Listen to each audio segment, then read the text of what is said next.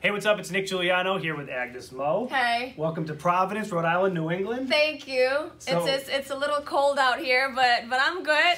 So- I come prepared.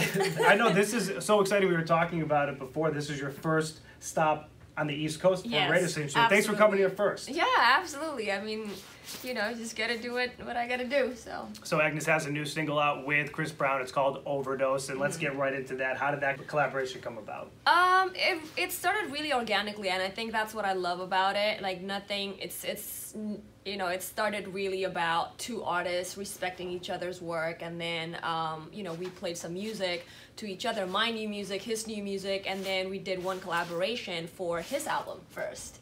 But then we didn't stop there. We just kind of like, oh, let's just go back to the studio, you know, and then so we ended up spending probably like a month in the studio almost every day and, and, and writing and this and that. And we, at that time, we didn't even think of, oh, let's release this project, let's release, you know, this single, whatever. And then after that, um, we were like, we sat down and there was a moment of like, yo, you know that we actually have a whole project, right? Like we actually got like 12 songs together.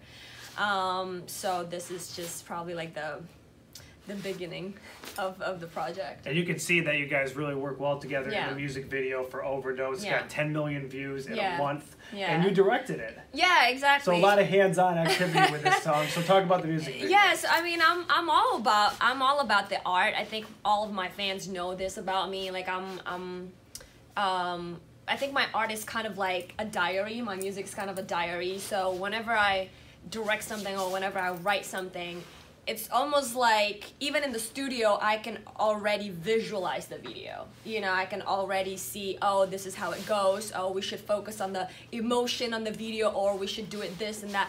And um, when I talked to Chris, um, he was actually the one saying, "Yo, you direct your, your own music videos. I, have I've seen that. I think you should direct this one too." And I'm like, "You know what? Maybe I should." So with directing the music video, you made it into kind of a feature film. How did that idea come about? Um, I mean, I've always been. I mean, I've I've always been an actress, right? So I, um, I think film and acting, um, story based um, form of art. I feel like it's it's something that I'm really uh, comfortable with. You know, comfortable doing. And with this, because I know that Chris can also act. You know, I can act. And there's like a story behind Overdose itself um, we just thought, okay, let's you know, let's let's do this. Let's do something that's not um, just you know that doesn't just focus on the visual effects or how cool the stage is, but how real the story can be. Um, and it just kind of flows. After that, I just write uh, my treatments. Um, and I ended up having like three different treatments with like a lot of detail. Screwface know about like all my management. The producer knows. Like it just kind of um, yeah, the creative flow is just never stops. You know, I think I think the music itself really inspired me. and being over here in the states and uh, trying to get your music out now, Yeah. what's that process been like? How, how has it been? Um, it's been amazing. I feel like um, as long as you have the right uh, mindset, you know, so the focus is not about getting the fame, it's not about getting the money. Because again, like, you know, real talk, if I only wanted to just focus on my fame or my, my money, I wouldn't have to, you know what I mean, like start over in the US. I should just be in Asia, do my tour, and I'll be fine. But I think sharing my music, because again, my music is, is my art, my music is kind of like a, a diary to me. Um, I feel like I, I want to share that to a bigger audience, you know, and, and learn from the best. And that's the reason why um, I compiled this huge folder of all the names that I wanted to work with. The first page was Timbaland's name. And then um, I was so, you know, fortunate. I was so blessed to be able to work with him too. Like a few years ago, um, I had one single actually with, with Timbaland and T.I. as well called uh, called Coke Bottle. 2014 so it's just like really it's, it's been a learning journey you know and then i think it, it, it really shapes me as an artist as a human being as a person um, as a singer you know uh, learning from all those geniuses uh, so yeah, it's, it's been fun, really. One of the things that we noticed here at Hot 106 since we started playing your song Yeah. is that you have a rabid fan base. And it doesn't matter if we're posting about your song or we're posting where we're going to be that night. Yeah. Every, we had about 20, 30, 3,000 comments saying, play Agnez Mo, Chris Brown overdose. Oh, wow. So your fans, I mean, Yeah, I mean journey. they they they're so amazing. Um, I think the key to that is to really focus on what needs to be focused on, which is the art. You know what I mean? Like some people they got so caught up with the whole social media. It's all about the hype, right? It's all about smokes and mirrors. And I think that's the reason why my fans have been, you know, really rooting for me because they know that I'm authentic. You know what I mean? Like it's all about my music.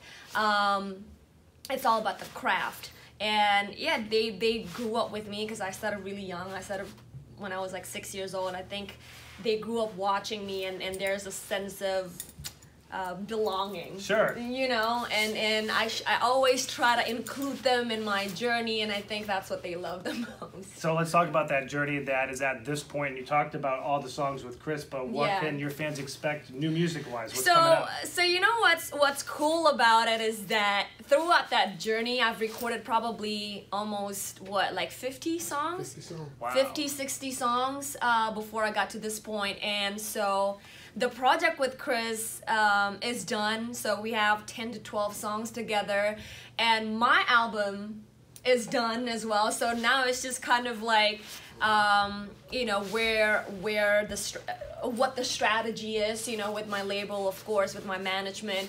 Which song do we put up 1st um, is it you know the project with chris or is it my own solo album? But it's all it's all done yeah Any much other anything you want to tell us about that solo album? um it's, coming. Wait, it's, hold it's on. coming. Um, yeah, I mean, it, it has some features, some amazing features there. Um, but I think personally, I really want my next single to be just me, um, instead of me with you know another Sure. feature. Um, and yeah, I talk about some real shit. Uh, always have been talking about real shit. Oh, oh, Is that actually, the name of the album or no? like real no. no, just shit. Gotcha. No. um, actually, the other thing that I want to talk about is the fact that I'm now filming my own my own docu series, and we call that I Am. You know, so I am the, the tagline is I am me, my own version of me. I think the um, some of the things that I have to go through as an artist um, from Indonesia, trying to make it here, is not just about um, trying to break a new market, but also um, some of the paradigms or, or, or perspectives that my existing fans have in Indonesia. You know, coming from a place where it's still, you know, considered a third world country, where people there still focus on how to put food on their table. Even Um, until right now, I still, you know, I'm still like a victim of, of cyberbullying, really. Like people would say, "Oh, you're from Indonesia. You're or you're from Asia. Like, why are you so westernized now? Oh, why are, why is your music like that? Oh, you're supposed to be more like this. Oh no, you're too thin. Oh, you're too Asian. Oh, you're not Americanized enough. Oh, you're not this." So it's there's always that battle, right? And I think um, I'm strong enough to to not listen to that, but I believe that if I if it happens to me, probably happens to a lot of other other people too. So that I am series is one of um, probably like my legacy. You know that I feel like I want to share that. Um, And where can people with- see that? uh, on my YouTube, yeah. But but now it's like an editing process, so hopefully, um, you know, I can make some noise not just through my music, but also through that.